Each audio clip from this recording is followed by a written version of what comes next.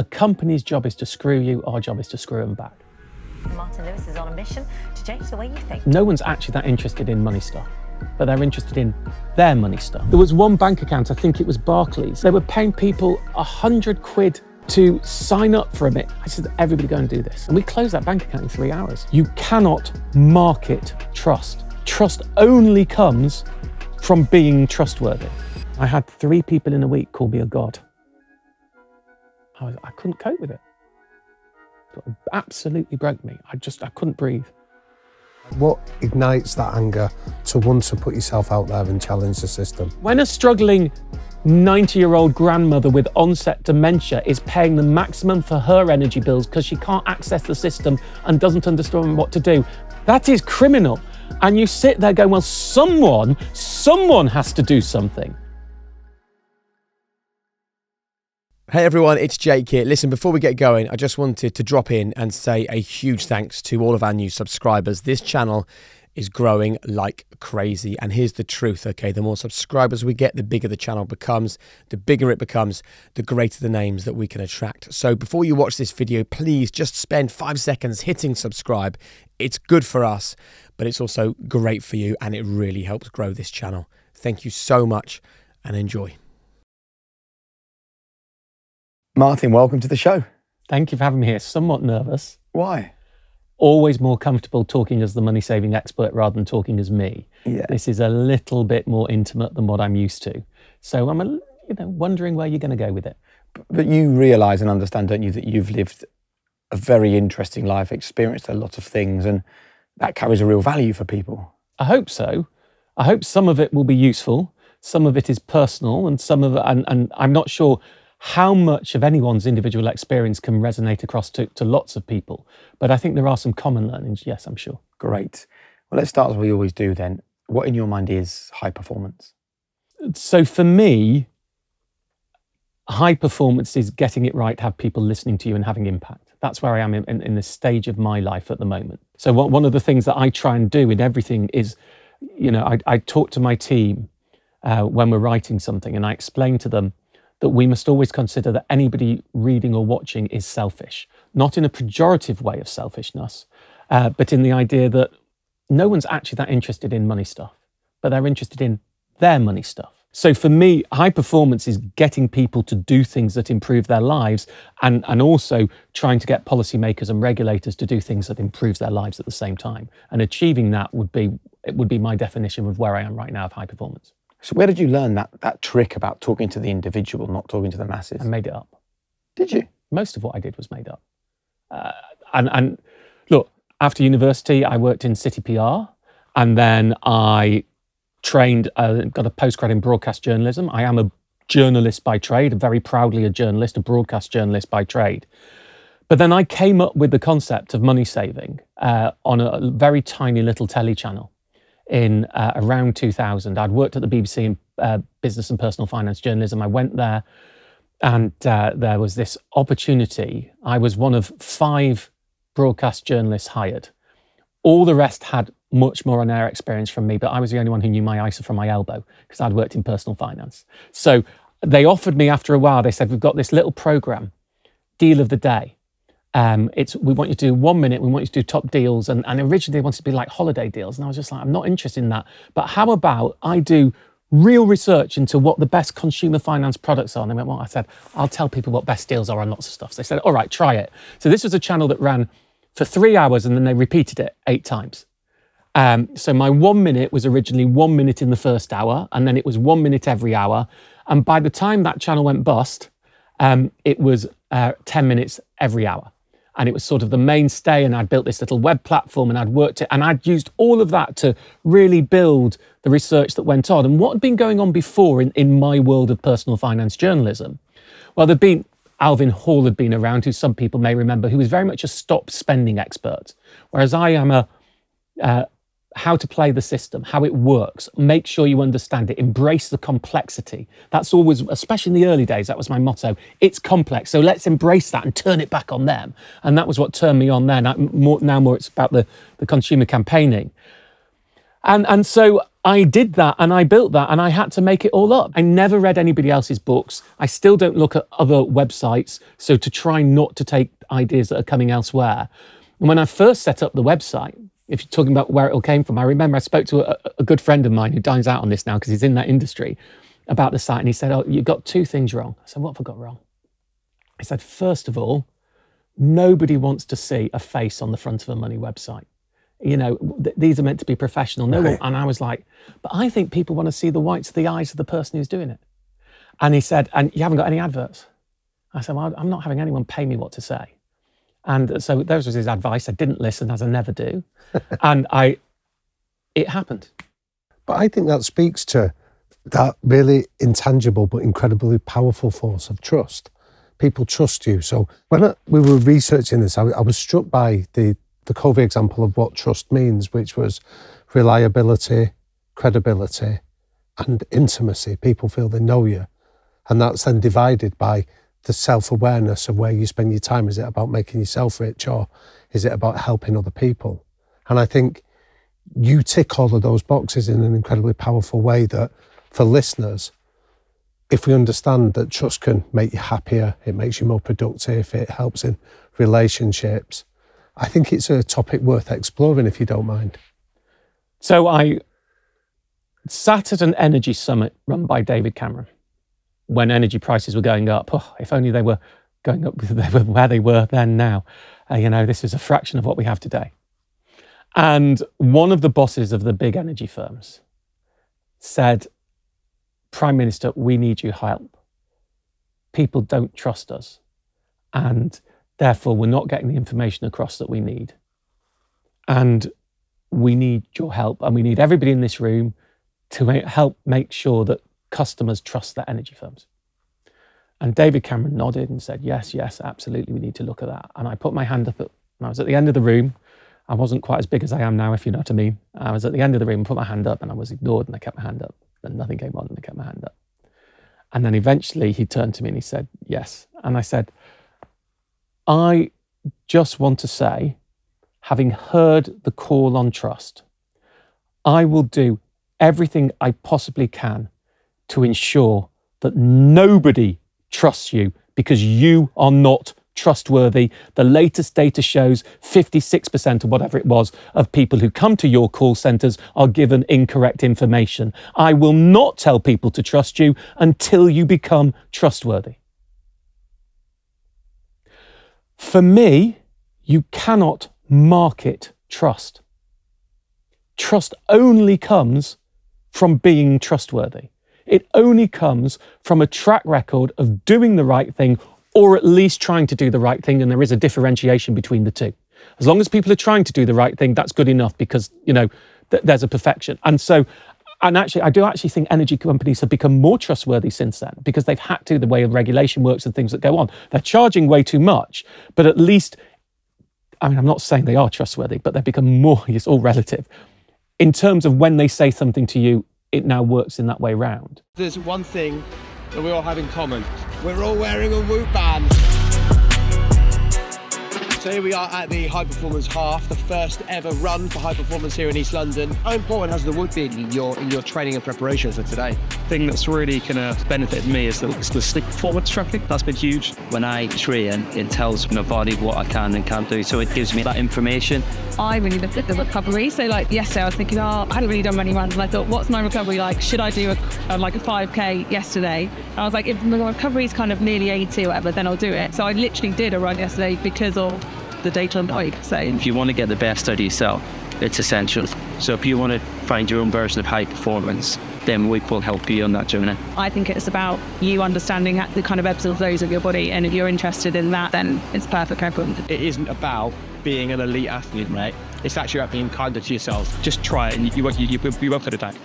I've talked before about the fact I have a professional paranoia. And to anybody starting out in an enterprise, I would really say this. I, I once did a talk for a friend with some young entrepreneurs and they were starting out. And uh, someone asked me about, you know, what shortcuts. And I went, whoa, whoa, whoa, whoa, whoa, whoa, stop. Stop. Shortcuts might help a small business to be a bigger business. But if you want to be a big business and you've taken shortcuts, you're going to kill yourself for future Because if you are throwing away that trust early, you have to be trustworthy from day one. Do not think that if you get really big in 20 years' time, people aren't going to look back and say, but hold on, in the first year, didn't you do that? That's what you really are. So you have to do it right from the moment that you start if you're setting out to have you know an entity or be trustworthy in that way i have a massive professional paranoia to a ridiculous level that drives my team mad drives me mad. And the best example i can give you we had a deal with a telecoms provider once. It was best in market deal. It was a broadband firm. I won't give the firm it's not fair to say. When we negotiate a voucher incentive to sign up for the site, it must always be one that is paid automatically or not claimed, or I won't have it. So we negotiated a voucher incentive for the site, but the company was also giving its own voucher, which was a standard deal for non direct, so for going through any other site, which had another voucher which you had to claim. So you had a voucher you had to claim, and then you had the extra one on top we had negotiated that you didn't have to claim. Fine, we live with that. That's a standard term and condition. I then found out because somebody told me that the amount that we got paid if somebody clicked through us and didn't claim their voucher from the broadband firm, we'd get more. So we would be paid more money if people didn't claim their voucher, even though, of course, we go and tell people to claim voucher. And I said, we can't do the deal. And they said, what do you mean? And uh, they said, you, are not going to incentive. Are you going to encourage people to? I said, we can't do the deal. I, I do not want anybody thinking we have a perverse incentive. And even though over my dead body will we act in a way to discourage people from claiming their voucher, the fact, and they're like, nobody will know. It doesn't matter. Someone somewhere will know, and that is not right for us. Now, that rule still stands. I'm not saying at some point, because I don't vet every single deal that goes through, something like that hasn't gone through. But when I heard of it, it was a red line for me. And so actually, we, we just said, we won't take that extra money. And again, how, how did you come to this realization that trust is almost the, that is the thing that Cause, people... Because I didn't set the website up to make money.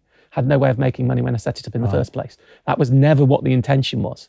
I never say I, you know, I get asked to do talks as an entrepreneur all the time. I rarely do it, and if I do, I call myself an accidental entrepreneur. It just wasn't my goal, you know. And I think I, I am. My goal was to be a, a campaigning broadcast journalist, you know, and it, it came through the financial sector. That's what I do. You ask me what do I do? I'm a journalist. I'm not an entrepreneur. I'm not a website owner. I'm not any of those things. I'm a journalist and I'm a campaigning journalist. That's who I am. So it, it, it's not that I went, how do I manufacture to be the most trusted person out there? It's just that I'm a campaigning journalist and I act like a campaigning journalist and I try and be a party political, very political, but a party political. And those are that paranoia.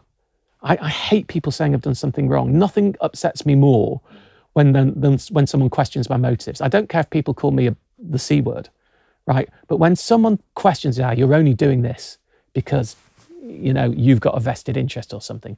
I, I mean, that's what makes me see red. And the nature of the site on, and the nature of your work now, as you say about the, uh, the, the campaigning, is very much around what I see about righting wrongs. And I'm interested in going back to that early age where you noticed inequality around you, partly because of the school that you grew up in. Yeah, so I, I, I rather bizarrely grew up in a special education school because um, my father was the headmaster and it was a boarding school and we lived on top of it. So I, I did learn at a very early age privilege.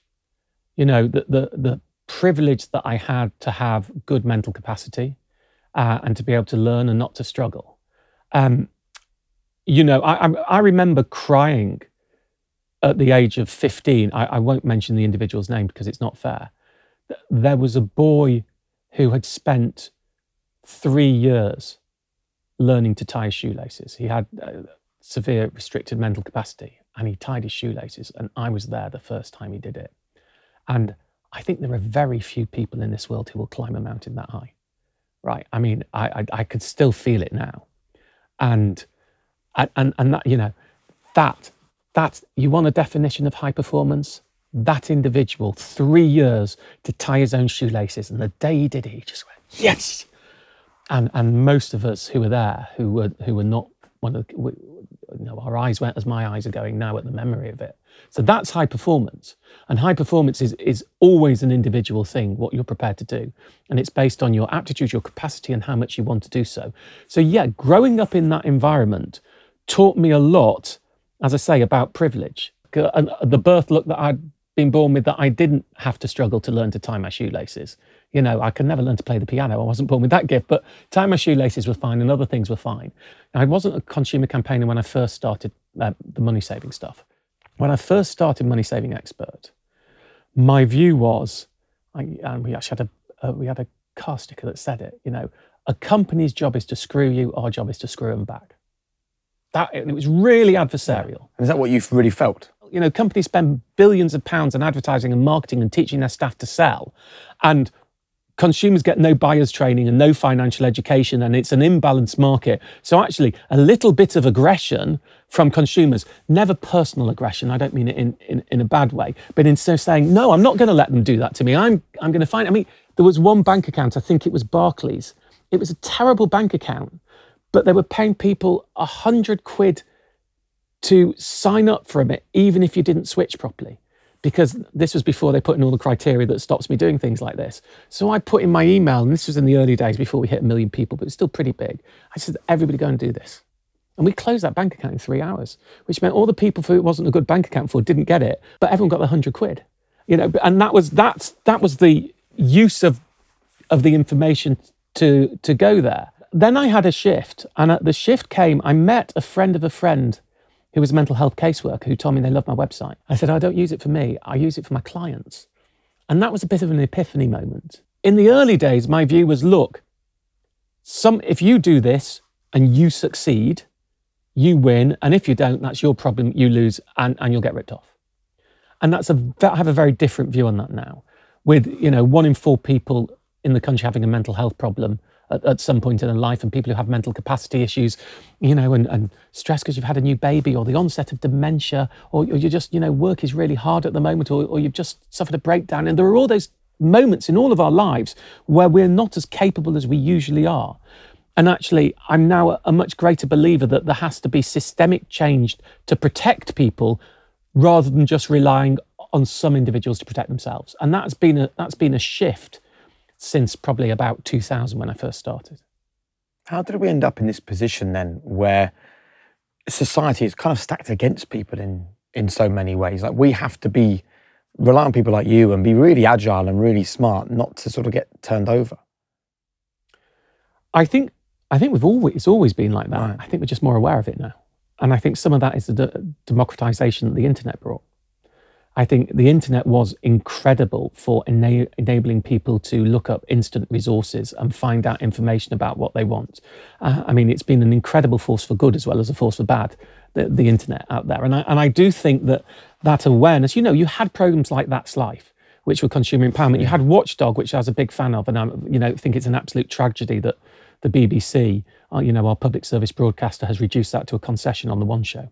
I mean, I think it's a disgrace in, in, during the cost of living crisis that, that there is now no mainstream consumer programme that is in prime time BBC. There is on ITV, but there isn't on BBC. And I would love the competition. And, and it always did something different. Watchdog's curative. It looks at people who've had problems. I'm preventative. My whole aim is to try and prevent the problems in the first place or get redress when they have happened. When there is injustice by design and it's bred into the system and they're doing it full knowledge, that's when I kick into action. And that's when it's a story. You know, at the moment, I'm working on motor finance uh, reclaiming, which is going to be the next big thing. And that's all about discretionary commissions where lenders said to car dealers, if you want more commission, you can just put the interest rate up. And they did, but they didn't tell people about the discretionary commission. And now there's a massive investigation by the regulator, and I think people are going to get large amounts of money back. Anyone who bought a car or a van or other forms of motor vehicles on finance before 2021. That's going to be over the next year the big thing that's coming out, and there's going to be billions of pounds paid back. Systemic, deliberate. You know, PPI, 40 billion pounds, systemic, scripted mis-selling to rip off the most vulnerable in society. Deliberate, deliberate, calculated, selling people a near worthless product doing through scripted, very clever mis-selling, not even telling people they got the product, saying when people ask for a loan, you'd be told, yes, you're fully insured loan. And the fully insured meant we're selling you a second product on top. That's actually where all the profit is. And we're not even breaking out the fact we're selling you a second prof- product on top. And that's why 40 billion pounds was paid back on that. Though that's where I like to kick off. Human error now. But then when we hear the passion in your voice around uh, like the anger at that kind of systemic injustice, I'm interested in the source of it for you, of what ignites that anger to want to put yourself out there and challenge the system. I think sometimes when you understand it, you know, when you when you steep yourself in it and live and breathe, and you know that the people who design these systems are also steeped in it, and then you just think, you bastards, you've deliberately, deliberately done something to profiteer, and you're taking that off many people whose lives are going to have a much worse impact. I, I am I'm not anti-capitalist. You know, I, I believe in making money. I believe in entrepreneurship. I believe in all of those things. But I think you you want you want to be able to sleep at night. So when I did bank charge reclaiming, which we got a billion pounds back, which was like the predecessor to PPI reclaiming, which was even bigger.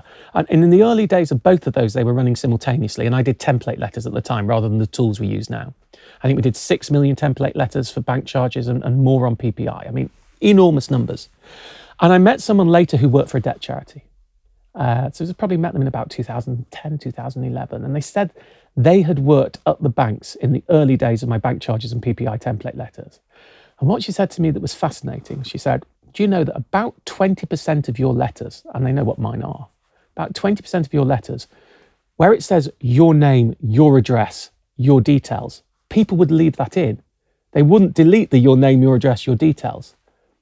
And 5% of your letters, people would just send their le- the letter in without adding their details. So people would post a template letter, they'd print it off the site, they'd say your name, your address, nothing personal, your case, and they'd post it. And I find that one of the most fundamentally depressing things of my entire career. So here we are with Britain's biggest financial institutions having deliberately, systemically, and no one's gone to prison for it, no one's been prosecuted criminally for it, deliberately, systemically ripped millions of everyday people off who were already needing to borrow at that time. And 5% of the people who had those products who were trying to get their money back had such limited mental capacity or functional literacy that they did not understand that they needed to put their details in a template letter. I mean, that is criminal. That is criminal. And you sit there going, well, someone, someone has to do something. Someone, you know, when I remember the later days of PPI, alongside which we negotiated to make sure that when they were putting a close on it, the FCA made sure the firms put money in to help the vulnerable people claim because it's just too difficult for some people. But I mean, I don't know about you, but I find that just, that is a tragedy. Yeah, and, and we have to, you know, I talk about lots of things. You know, I talk about energy. We don't have a social tariff in this country, right? Now, I'm a great supporter of a social tariff. What that does, it said, look, we've gone for a competitive model. We've gone for a model of market competition where energy switching should make it cheaper. Now, without being rude to you two chaps, if you could save 20% on your energy bill and you had to take action and you two didn't, well, that's your problem. You're both perfectly capable of doing it. But when a struggling 90 year old grandmother with onset dementia is paying the maximum for her energy bills because she can't access the system and doesn't understand what to do, and therefore she pays more to boil a kettle than I do. That is all of our problem. That is society's problem. And the, the easier, you know, the, the finances and the surface of my life gets, the more I feel the injustice for people who are going the other way around. So I think there's a, I think that's probably the correlatory relationship. It's very interesting you feel like that though, because most people feel more content, happier, more relaxed if they've got a few bob in the bank and they've been perceived as successful by the outside world. It's very interesting that your your emotion is quite different. I look having money in the bank is great. It doesn't make you happy, but it certainly takes away many of the negatives and it gives you a safety net and, and it enables you to look after you, those that you love. And that's incredibly important. Uh, so it's not about the money so much. I, I you know, it's it's probably a weird bit of me fighting that, that, there's an injustice that people can be as wealthy as me in the world. Right. right? But I mean, I'm very glad I am. I'm not saying I'm not saying not, and, and it, it's what means that I choose what I do. I don't have to work. I never have to work a day again in my life. So nothing I do anymore has anything to do with because I need to go and make money. Um, I, I choose what, what I do and why I do, and that's the greatest luxury and the greatest freedom that you can possibly have. You know that your life is your control. And interestingly, I do tend to think most people who've made a lot of money tend to be the ones who won't stop work because they're driven. So there's a virtuous circle going on there. I think some of the guilt comes because, you know, I remember in the pandemic, then my head on my desk crying, you know, weeks on end at, the messages that were coming in and the, the desperation at people's lives. Um, and there'll be people sitting out there and I go, why don't you just give them money? Because it doesn't work. Because no matter how much money you've got, it take you five minutes, it'll all be gone. I put money into charities and organizations to try and help, and I work it that way. You know, my big charity, my money mental health charity, is all about trying to change the system to improve people's lives. Direct handouts to a few individuals, you know, is just spitting in the sea. It's nothing. So, but I do feel when you're reading that, and because I'm the money saving expert, because I'm steeped with dealing with people's financial issues and I don't have them myself, I think that that helps drive some of the guilt that comes from it. When I sold the website, and you know, I still in charge of all the content and the strategy, people think I'm, I'm still there, still drive them all mad every day um, uh, as executive chair these days.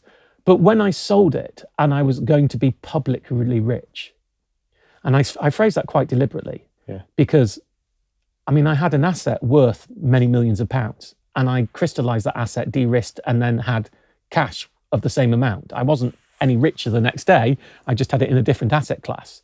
And the site had already been very profitable beforehand. So I was already, you know, doing very well financially. But the knowledge, because I'd grown up, I hadn't, I don't come from a rich background in any way. The knowledge I was publicly going to be very wealthy, and I was worried what people would say. You know, I was torn between would I have a reaction from people that, great, I want the guy who talks to me about what to do with my money to have done really well with his money, or are they going to say, well, how can he? How can he have any clue about our lives? And it makes me laugh these days because I'll get people who talk about, but they'll talk to me about politics. Oh, you get it, Martin. But then Rishi Sunak or whatever else with all their millions in the bank and they, you know, how can they ever understand it? And I go, well, it doesn't preclude you from understanding it. It doesn't preclude you as long as you work hard and you care, you know. And, and you also gives you the ability to put money into trying to help people, that which I do both in my day job and in my charity funds. Was there ever a moment where someone came to you and said, "Look, you can make three times the money on this website by doing this"?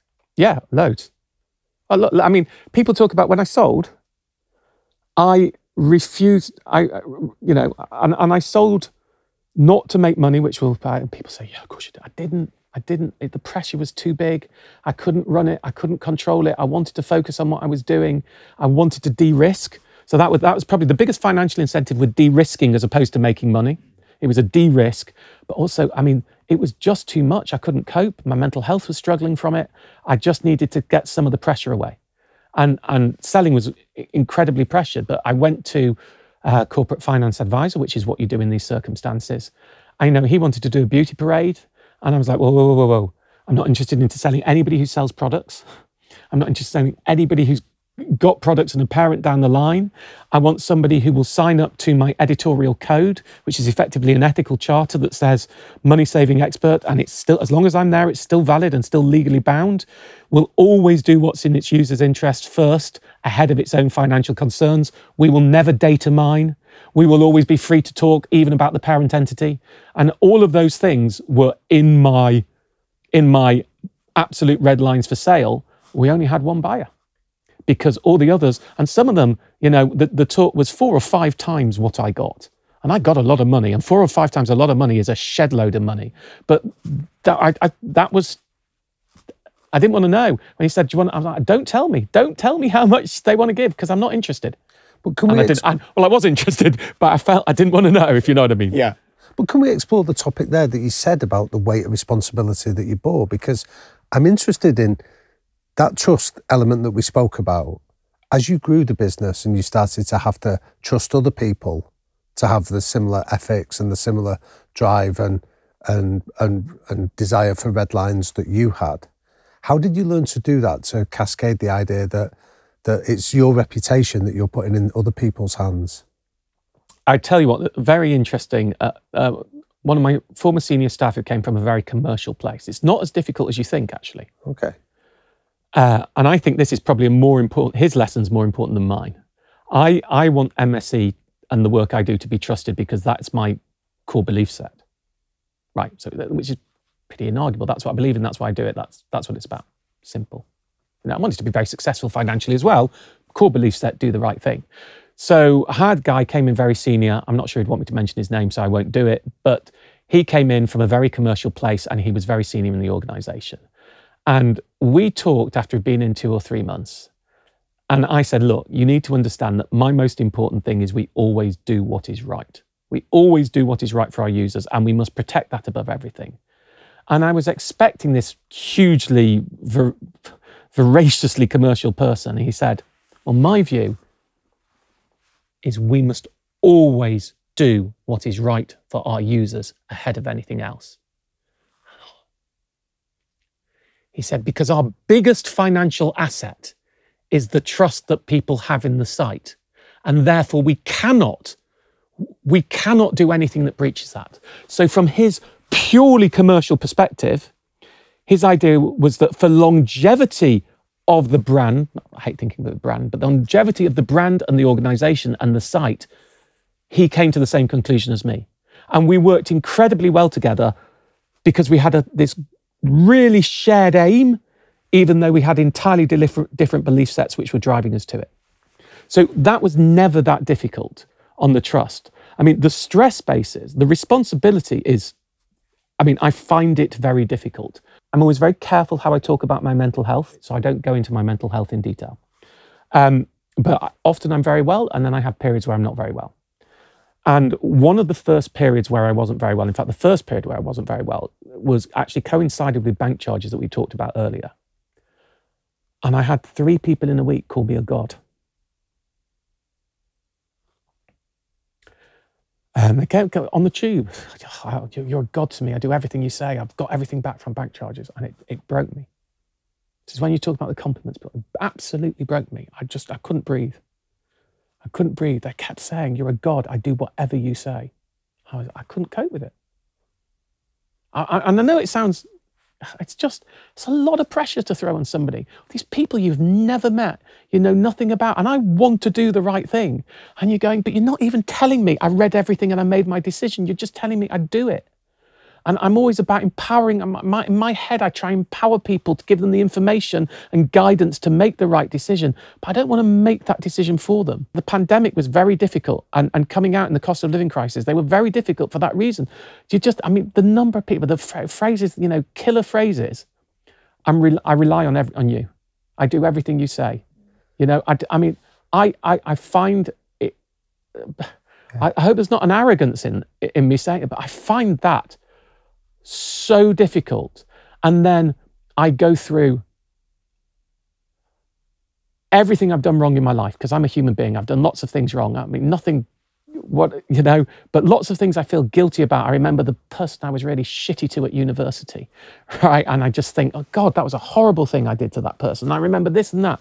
And I, thought, oh my God, that, they're going to start talking about it. And, and everyone, you know, so the more people put you up on a pedestal, the more you think, oh God, they're just going to not, you know, something's going to happen that breaks that. And I don't want to break that trust because what I do, I think, is really important. And I would, you know, I wish, and the bigger you I've got, the more difficult that is. So there is an incredible pressure, and I and it, I find it. Well, I struggle to difficult with it is an under exaggeration. I can't deal with it at times. I can't deal with it at times. So, would you share with us though? Because I think there's lots of people listening to this will feel pressure in different guises, how however it shows up. Would you tell us some of the methods you have learned of coping under pressure? I've been asked that question before, and honestly, no, I won't because I'm crap at it, right? And I don't want anybody to learn from me. I do what I Well, can. what about your biggest mistakes then? Uh, look, I, um, I try and learn the breathing stuff. I'm not very. I, I try my breathing. I, I can't do meditation, right? I mean, uh, sleeping is quite tough. All of those things. I try and talk myself through it. I've had therapy. I've done all of those things. But when, when it's bad, it's bad. I, my main coping mechanisms: huge amounts of exercise, lots of walking on top of the exercise, um, always be in a book. That's one of my big rules. So for me, it has to be, I only have two types of books. it must be either science fiction or fantasy or historic fiction. It cannot be anything that could trigger thoughts about my world, and I must always be in a book. What I mean by that is if I'm struggling and I'm stressed, I can't start a book. So my rule is at any one time, I must be in a book that I'm enjoying because then if I'm struggling and stressed, I can stay in it. So whenever I finish a book, I always get into another book absolutely as a priority. So I'm always in the middle of a book. That's that one of the few tips that works. And find distraction, find anything that can take your brain away. I don't care if it's playing a game on your phone, which is something I do. I'll find a game that will buzz your brain, but distraction is very important. But the problem with that is that's personal to what I deal with. You know, some people have depression. I don't have depression. Mine is anxiety based. I have anxiety. And we all need to find our own different things. I, have been to universities and I've done talks on how to be successful. And one of the, you know, I, I say there are four things talent, but I think a lot more people have talent than they know. Um, hard work, and all those people who say, oh, I only do four hours a day and I've been really successful, I just think it's bullshit. I think most people who are really successful work really hard. I mean, I spent a decade working 90 hours a week you know, that was that was just what I did. That's how I got here. When I was building the website myself, that was what I was doing. Focus, I think, is incredibly important. Laser-like focus. You can't be the best at everything. Try and be the best at one thing. And then the final one I say, which is absolutely, unquestionably the most important one: luck. And anyone tells you there isn't an element in luck in what they do is again is just lying to you. There are, you know, and there's all the the harder I work, the luckier I get. No, well, it's not true. There are lots of incredibly hardworking, talented, focused people who have not been successful. And that's another reason for the whole pay it back, because I'm aware I've been incredibly lucky. But the, the tip that I need to say within all that is do you really want to be that successful? Because there's a cost to it. There's a cost to pushing as hard as I've pushed and as hard as other people have pushed. And I look at some of my incredibly bright contemporaries from university who haven't on paper been as successful as I have. And who perhaps, you know, everybody when we were leaving, I, I was at the LSE, there were lots of people who were really driven there. Everyone as we were leaving thought they really wanted to be successful. And there were many who within probably three or four years suddenly went, actually, I can be make a good income and I can work nine to five and get a good income and I can have a nice life afterwards. And that's all going to and that's pretty good for me. I'm not sure I want to push it. And I was there going, zone, zone, zone. I think in balance at the age of 51, if I were to compare myself to some of them, I think if you add up the total happiness that each of them have had, they're ahead on the happiness score. So I think people need to, how hard, how hard do you want to push? How much do you really want to be the number one in, in what you do on the big picture? Not most people can't be, so a lot of people will fail. And even if you do get it, I'm sure there's some people you'll have met who've had great journeys to to top level success and high performance and have, haven't had to pay for it. But I, I've certainly paid for it in quite a lot of ways. In you know, locking yourself away doing spreadsheets for, for many hours when other people weren't, missing out on social life, missing out on interactions with family, certainly my 30s in the drive stage of my career, and the impact it's had on my mental health with the responsibility that's come with it. I'm not asking anyone to be sorry, feel sorry for me. I just think hmm. it's a choice thing. I also think it's a really important thing to talk about because we're a podcast that tries to peel back the layers to reveal the truth. There are plenty of other podcasts and social media platforms telling young people work 24 hours a day, don't take a break, be relentless, have the hustle, you know, do something on the side, push yourself to the limit, work up, be the hardest worker in the room. And I think it never takes into account luck. And then it leaves us in a position where there are people saying, Well, I've done all those things and I still haven't achieved anything. And then it actually leaves people feeling far worse than feeling better. It's not a it's not a form of empowerment to tell everyone else that it worked for me. It's a form of empowerment, as you're saying, to say that actually this comes at a price. It does. I, and I can only talk from my experience. I'm not saying it will be that way for everyone. I'm sure there are some people who've made that path through. Mm. But most people I meet who've been successful have had real sacrifice for doing it. And and actually, you know, you need to just make that choice of whether that's right for you. And I, you know, happiness, I don't think there's enough focus on happiness as a form of success. So when you look back at you leaving LSE with yeah. that peer group you described, did you consciously decide that you were going to sacrifice happiness to go after this? And I'm interested in if you were to go back there then. I was incredibly driven at that point. I mean, people who went to university with me, some of them I'm sure will say I was unbearable while I was at university. So I, um, I left school. I was, I was relatively shy and quiet at school. Um, I, you know, I had never been diagnosed this, but I, I was post-traumatic stress for, for many years. I, you know, I didn't, never left the home really until I was 18. Right. So I didn't go out, didn't go to party, never Did to you have help? And No, it was, No, just- no. the 80s. not in the no. it was the 80s. You know, I went back to school after my mum had been killed and nobody said a word to me. It was the 80s. You know, so I, and I, I, couldn't, I couldn't leave the house because I hadn't been in the house when she was killed. So, um, uh, so no, I didn't. And I, I had no life. I had no teenage years until I was 18. Nothing. I mean, I, can't, you, I, this is not an exaggeration. I think I, I went, I, well, I'll tell you, just so you, it's worth saying, the story, the, the story. And I saw, I, um, never been to a party. I'd always made excuses why I was busy and I wasn't. I was sitting at home because I couldn't. And I got to about 17 and I was just coming out of my shell uh, and, and thinking, actually, I want to go and socialize and be with people. And uh, I got invited to a party by a girl I shared the bus with, and who, you know, and she said, "Why don't you come?" And I, you know, you know, you'll know people. So I really wanted to go to her party. And then I thought, what do you wear to a party? I'm 17. I, am like, I don't know. Am I meant to wear a suit? Am I meant to wear jeans? I just, it sounds, I did not know because I had never been. Because since, since two days before I was 12, I had not been anywhere. And I didn't know. And my sister wasn't living at home. And I didn't trust my father and my stepmother right? I didn't think they would know because I'm 17 and think, oh, you won't know. And and they were like, we'll drive you, let us know what, because clearly I'm not in a good place uh, as I look back on it now.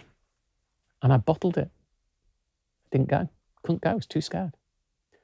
So I, when I was 18, I mean, I really, really had no experience of anything other than going to school and being depressed, right? Not clinical depression, depression, causal depression.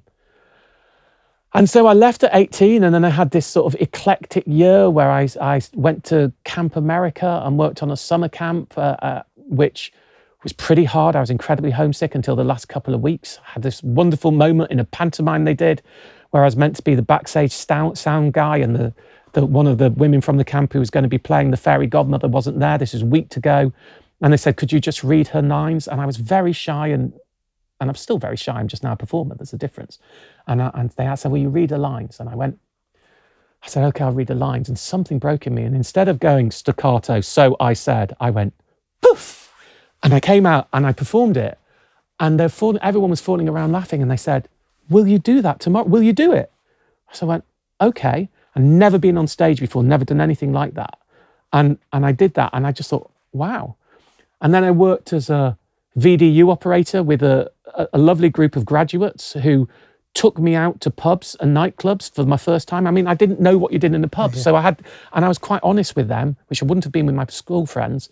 And they took me out and said, well, come with us. And then I worked, um, then I worked as a salesman, which is, I mean, I think anyone who wants to work in business should have to do compulsory service as a salesman. I think it should be mandated What were you selling? a caravan awnings. Doesn't matter what you're selling, you're selling, right? And it was all about learning to communicate, incredible communications lesson. And uh, uh, just before that, I'd worked as a in a bar to learn more about. So I worked in a bar, and then I went back to Camp America second time with a totally different confidence level. Became head of staff entertainment, doing shows all the time, doing that type of stuff. And then I turned up at university, and I'd flipped like a pancake. So from having been this shy person who'd never been out, I was flooded with this exuberance and confidence. I would say bordering on arrogance, but it wasn't bordering, it was just arrogance, right? And I could do anything. And first week of university, I put myself up to be rag chair of the uni and I got it. And I put myself up to be up to three other posts. So I had three posts within my first week at university, you know, and I was into the student politics. And by the end, I was student president and I was, you know, the loudest and, and you know, overbearing person in the university. I mean, I cared about what I did. I loved what I did, but boy, was was I out there. And so I was a. It was a very different phase, but the, the flip like a pancake is the best way I can describe it. But you aren't kind enough to yourself, right? And that's obvious the way that you sort of talk and little things that you say. When you talk about being arrogant at university, I sit here listening to that harrowing story of the previous years and think, oh my God, you deserved to be that person Maybe, at university. maybe you but- were making up for lost time. It. Nobody knew it. Yeah, but we now know it, don't we? Mm. So you can actually look back on that now and go, yes, I was out there. Yes, I was loud. Yes, I was brash. Yes, my voice was heard. Yes, I impacted the people around me.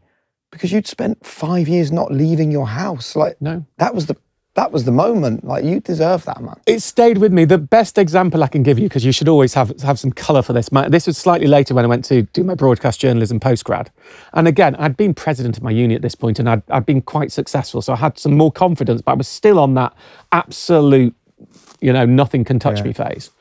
Was we went and, and my friend Kerry tells this story, and they all laugh at me. All the people who did my course, who were still many of my great friends. So we went on the course, and it's a broadcast journalism course, and we're amongst all the journalists signing up. There's about two, three hundred people in the room, and we're going, and, and it's just a sign up day. The course starts the next day. So I said to, I met one of the other person who's signing up saying, I said, it's a shame we can't all go and meet each other, isn't it? And he said, yeah, but I mean, how are we meant to know it? There's no mobiles or WhatsApp or anything like that at this time. Well, I think we had, there were mobiles, but there's no, no, commu- and he said, how are we meant to do it? I said, oh, it's fine. I stood up. I said, Everybody on the broadcast course, with I have a very loud voice, I'm not doing everybody on the broadcast course in 30 minutes we're going, and I name the local pub. We will be there, we'll see you there so we can all beat before the start of the course. And just everyone stopped and looked. And they were and they all go, How did you do that? I mean, obviously it's easy. And how many people turned up? Everyone. There you go. There are loads of lovely things for people to think about from this conversation. I mean, I think one of them is that we're not fixed. You know, there will be people listening to this who are maybe more towards the broken than the than the okay place, right? And I think it's important for them to to hear your story and to understand that it, it- things don't last forever necessarily, and that you can not necessarily fully recover, but you can get back to a place of happiness. Well, more so than that. And, you know, I'm, I'm a patron of a bereavement charity for young children. And I've unfortunately had seen children who are the, the children of some friends of mine who've lost their parents very sadly. And one of my messages now, when I look back at what happened to me, I mean, apart from the fact, get counselling. Well, for heaven's sake, get counselling. Have someone to talk about. There are great techniques for dealing with grief. You know, nothing will fix it, but they will enable you, enable you to handle it better. Um, but a lesson I have for anyone with grief at any age is do not tell yourself off for smiling. I cannot tell you enough. You know, you lose someone yesterday, you've had the biggest tragedy in your life. If something happens that makes you smile, the reaction on that day is to stop yourself because I shouldn't be styling. Screw that. Ma- screw that. The, the, the most important thing, uh, you know, as someone who went through childhood trauma, the most important thing is grab every smile you can. Grab every, and if it comes, do not fight your smiles down. Do not ever try and make yourself less happy than you could be. And do not feel guilty about being happy. I mean, make sure it's appropriate if there's somebody else there who's in, having a different moment. But don't fight your smiles down. And if I could go back and tell that hideously hurt young boy anything, it was like, just go and try and be happy. You know, don't feel, and I did, I felt my responsibility was to, to mourn and be miserable. And I think we need to change our attitudes and we need to be open and we need to talk. I'll give you one final story if you like. And when I worked on the summer camp, and I'm Jewish and it was a Jewish summer camp, I worked on the summer camp and unbelievably, there was a little boy in the division that I was working on. This is the, the next year I went and I was a senior counsellor. And um, we got a call, my the division head and I, and uh, we were told that unfortunately um, his mother had just passed away of cancer and his father had passed away the year before. And the new parents, and he, he was uh, he was 11, nearly 12, which is exactly the same age as me. And myself and Keith, who was the division head, they said one of you needs, because of the way the, the, the rules, one of you needs to be with when he's told, and one of you needs to pack for him. So we tossed a coin for it, and I won. I got to pack, right, which I was very grateful for. So pack for him, um, and we packed him away, and then he came back to the camp a week later. Then the next thing on the on the Friday night, they did this very low end religious service, and uh, the rabbi who was taking the service said, "Now some of you will know that this boy has come back, you know, and said his name, every eye, and there's 400 kids there, turns to him. And I'd all like to stand up and do It's an 11 year old boy and, and be silent. And I, I was sat near him and I saw his face just crumple. And I got a wave of anger. I just walked over and I picked him up, picked him up, carried him, and just walked him out of there. And, and you know, and I, I you know, I apologized to, to the rabbi later who was fine with it, finally realized. And I just, I said, the last thing he needed was 400 people pointing at him.